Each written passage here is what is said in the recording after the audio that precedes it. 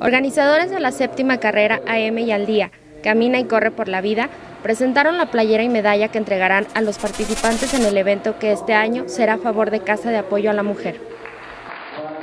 Para m.com.mx, Mayra Córdoba.